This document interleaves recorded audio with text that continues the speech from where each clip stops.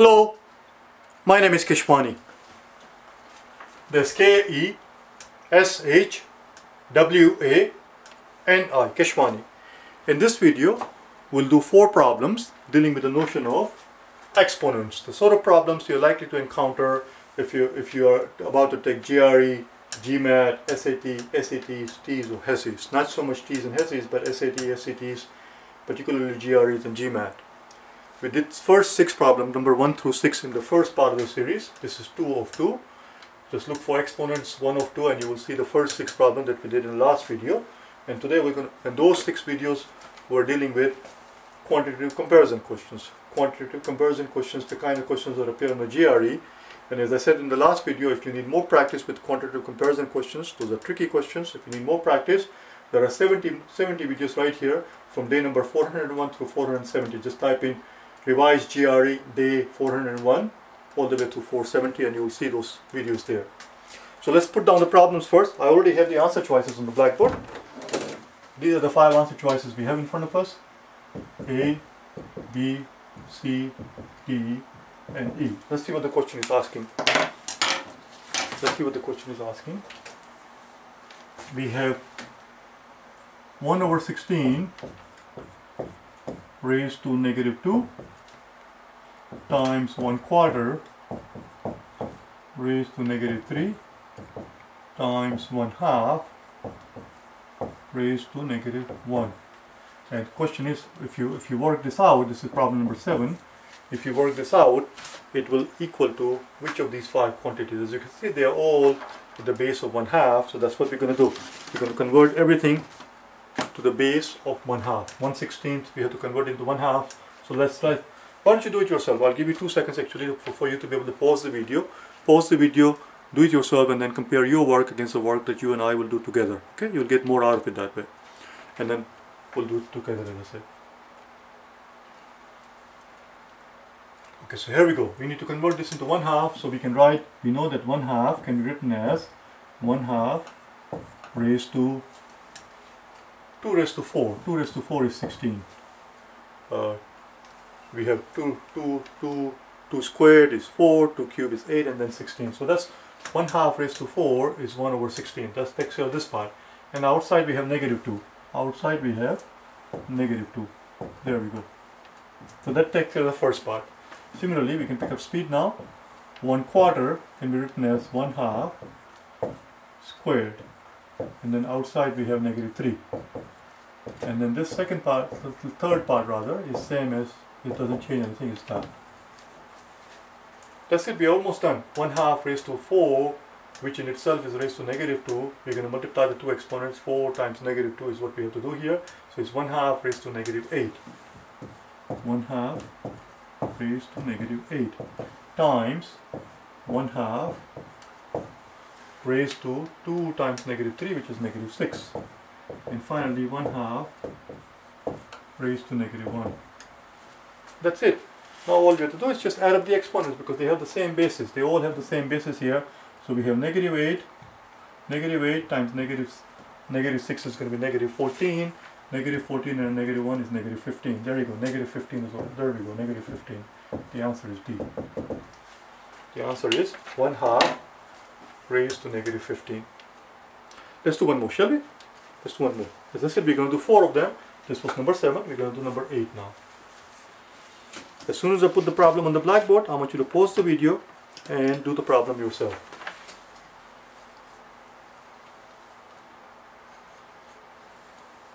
It says the value of A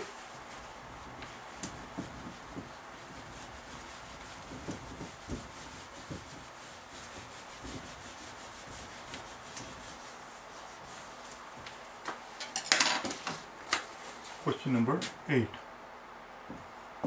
says the value of A is how many times value of A is how many times the value of 2 raised to negative 11 and we are told where we are told where A where A equals 2 raised to negative 8 times 2 raised to negative 9 times 2 raised to negative 10 times 2 raised to negative 11 over 3. And here are the answer choices. A, B, C, D, and E. 2 fifths, 5 halves, 3, 4, or 5. Again, one more time, I'm going to read the problem to you and you're going to do it yourself. Question is value of A and we are told that A is this quantity. A A equals this quantity. This is your A. A equals this quantity.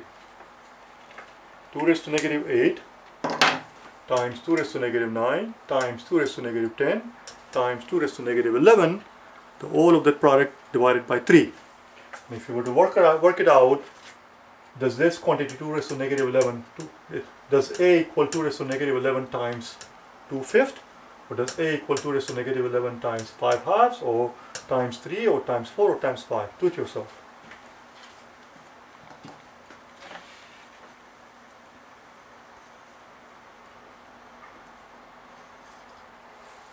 Well, let's work on this part first. Before we worry about everything else, let's work, on that part first.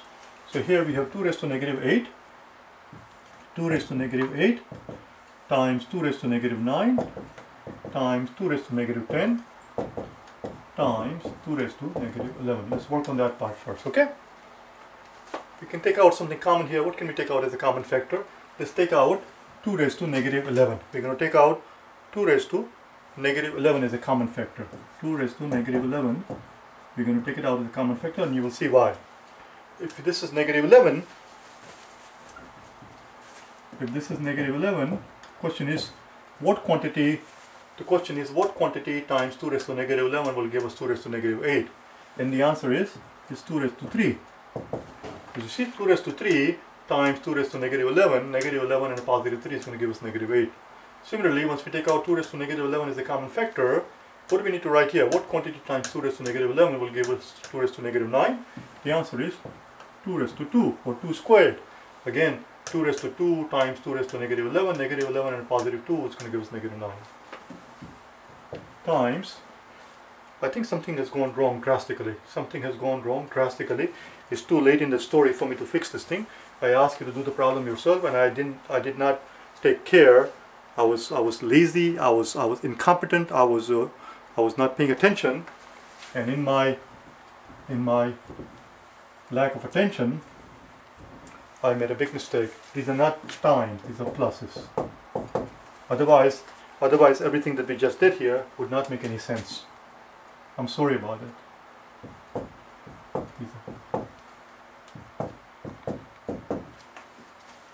It's a good thing I caught myself eventually. These are being added, of course. And, and, and if this helps you, then you can pause the video now and redo it.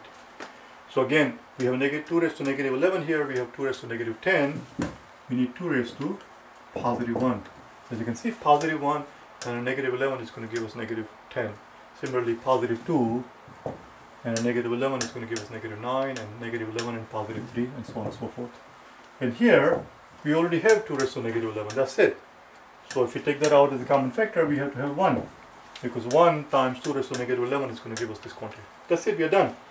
All we have to do is now is figure out what this is equal to. So this is 8, 2 raised to 3 is 8, 2 raised to 4, 2 raised to 2 is 4, 2 raised to 1 is 2, and 1. You with me? 8 plus 2 is 10 and 4 plus 1 is 5, so it's 15. So it comes out to be 2 raised to negative 11 of course. So it comes out to be 2 raised to negative 11 times 15. This whole quantity boils down to 2 raised to negative 11 times 15. You see that? All of this quantity that you see there is 2 raised to negative 11 times 15. Because we do not have any more room on the blackboard, so instead of erasing everything, I'm just going to raise this part 2 raised to negative 11 plus 2 raised to negative 9 plus 2 raised to negative 10 plus 2 raised to negative 11. All of that we just found out all of that we just found out is equal to 2 raised to negative 11 2 raised to negative 11 times 15 times times 15 so there we go times 15 we have a 3 at the bottom so we can divide top and bottom by 3 and 15 is going to become 5 and the question is if a equals this quantity we just found out that a actually equals to 5 times 2 raised to negative 11 and the question simply was the value of A is how many times the value of 2 raised to negative 11? The answer is, it is 2 raised to 11 times 5. It's 5 times that quantity. A happens to be 5 times 2 raised to negative 11. That was number 8. Let's do the penultimate one, second to the last one. We have two more to go as I said, 9 and 10. And hopefully the next one I will pay attention and will not give you the wrong problem.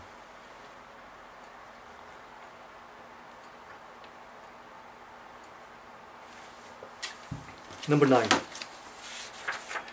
It's very important to pay attention. Number 9, as a matter of fact, is very similar to what we just did here and therefore I would like you to do it yourself. Very similar. It says the value of n is how many times the value of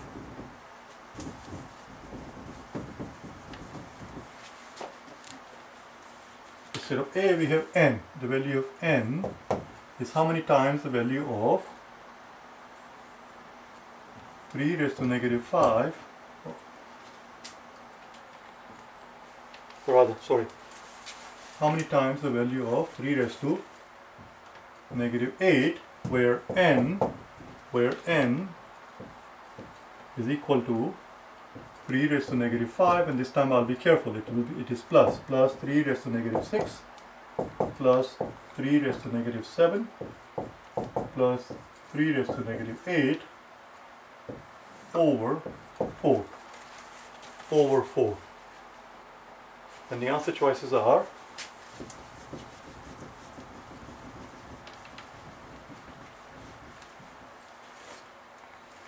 Three quarters, three, nine, ten, or thirty. Again, I'm going to read the problem to you so that there is no there is no scope for confusion. Let's put a demarcation here so you can see clearly where, where, where the thing is. One more time it says it says the value of n we are being asked we are being asked the value of n is how many times the value of 3 raised to negative 8 where n happens to be equal to where n is equal to where this quantity n is equal to 3 raised to negative 5 I'm going to read it out to you so that so that you understand what's written here 3 raised to negative 5 plus 3 raised to negative 6 plus 3 raised to negative 7 plus 3 raised to negative 8 whole thing divided by 4. Same as before. Exact same concept, exact same layout, exact same scenario. Just the numbers are different. Do it yourself. Okay, I'm going to get out of your way. I'll give you a few seconds for you to be able to pause and unpause the video and then we'll do it together after you've done it yourself.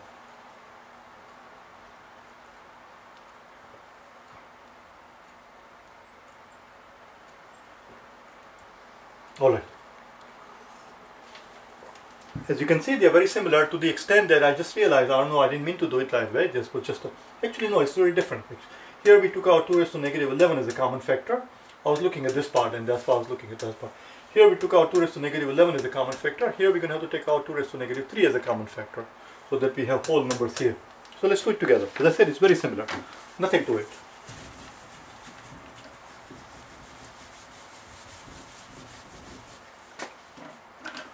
So we have so first we're going to work on the numerator here, the top part. We have 3 raised to negative 5 plus 3 raised to negative 6 plus 3 raised to negative 7 plus 3 raised to negative 8. Let's take out let's take out 3 raised to negative 8 as a common factor. 3 raised to 3 raised to negative 8 is a common factor. The question is 3 raised to what quantity 3 raised to what quantity times 3 raised to negative 8 is going to give us 3 raised to negative 5? The answer of course is 3 raised to positive 3. Because positive 3 and negative 8 is going to give us negative 5. Similarly, 3 raised to what what exponents will give us times 3 raised to negative 8 will give us 3 raised to negative 6. The answer is 3 raised to positive 2. Positive 2 and a negative 8 is going to give us negative 6. As you can see, it's very similar. 3 raised to negative 1, rather positive 1, a positive 1 and a negative 8 is going to give us negative 7. And here we already have 3 raised to negative 8. Right here is we have 3 raised to negative 8 here. 3 raised to negative 8 is, is, is exactly what we had taken out as a common factor. So we're left with just 1 because 1 times this quantity is going to give us 3 raised to negative 1. Okay, let's see what we can do here. This is 3 raised to 3 is 27 plus 3 raised to 2 is 9 plus 3 raised to 1 is 3 plus 3, 1 is just 1. Let's see what we can do. 9 plus 1 is 10 and 27 plus 3 is 30 so it's 40 times this quantity. So this 3 raised to negative 8 and this turns out to be 40 times 3 raised to negative 8. 40 times 3 raised to negative 8 you can pretty, pretty much figure out what the, what the answer is here. So we're going to replace this top quantity 3 raised to negative 5 plus 3 raised to negative 6 plus 3 raised to negative 7 plus 3 raised to negative 8 by 40 times 3 raised to negative 8 by 40 times 3 raised to negative 8 and we are done. Divide top and bottom by 4 if we divide top and bottom by 4 here we have a 40 and a 4 divide top and bottom by 4 and left we are left with 10 and the question is the value of n. n equals this quantity. We just found out that n boils down to 10 times 3 raised to negative 8. The question was n is how many times, how many times 3 raised to negative 8? We just found out it is 10 times the quantity. It is 10 times the quantity. That was number 9, not 8. That was number 9. Let's do the very last one. The very last one again, you're going to do it yourself as soon as I finish setting it up on the blackboard.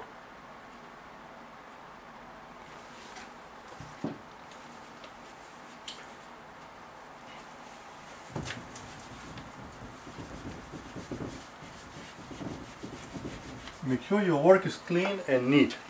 It should not go all over the place. As I always remind you. Here's the question.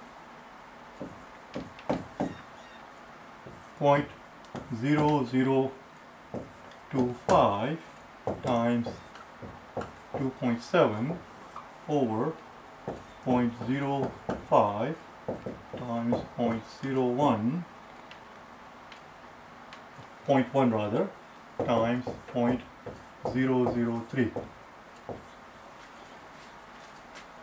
Question is this quantity is equal to how much? Is equal to how much?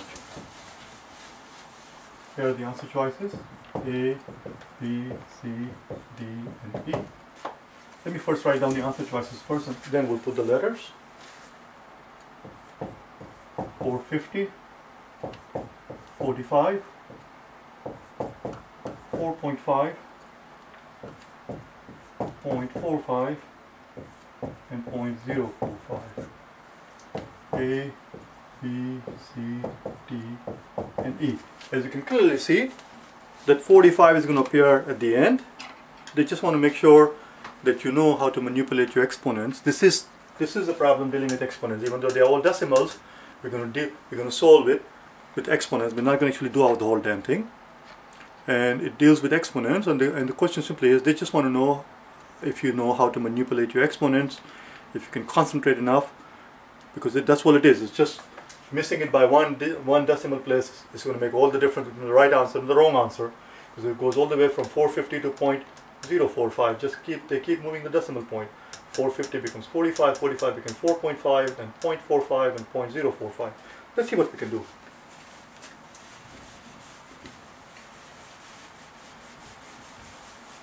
Let's see what we can do. Well, it'll be nice, it'll be nice if we can, if we can write this whole thing with whole numbers instead of having to do with decimal if we can write it with the whole numbers the question is how do we convert how do we convert 0.0025 into whole number well, as you can see clearly we need to move the decimal four spots. One, two, three, four. We just did it. Decimal was here. Decimal was here. We need to move it four spots. One, two, three, four. If you can move it four spots, it becomes 25. In other words, in other words, 0.0025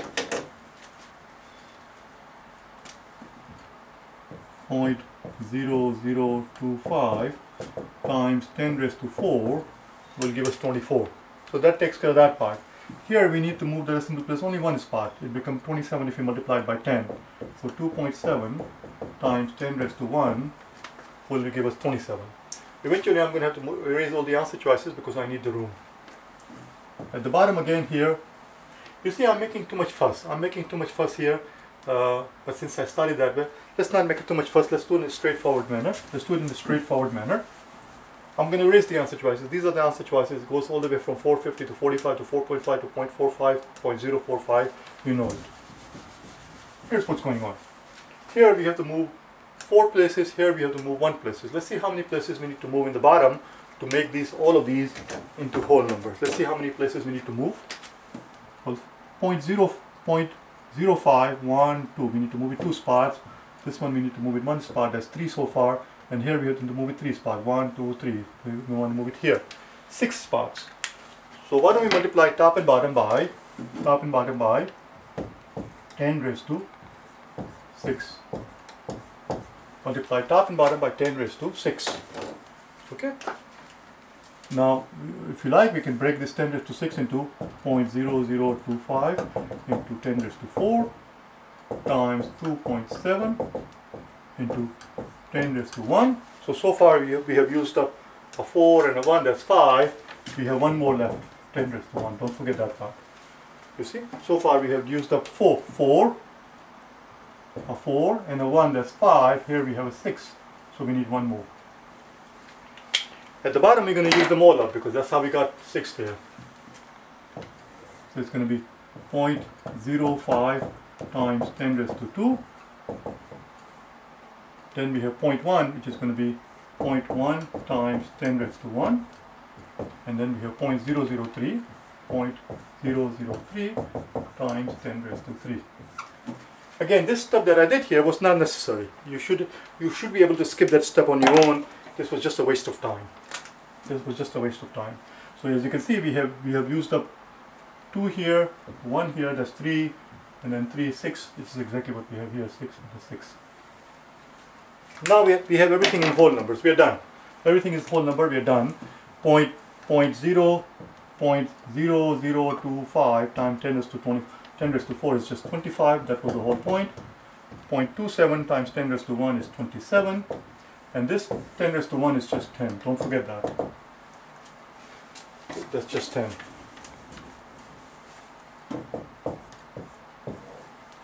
This point 0, 0.05 times 10 raised to 2 is going to become 5. 0.1 times 10 raised to 1 is going to become just 1.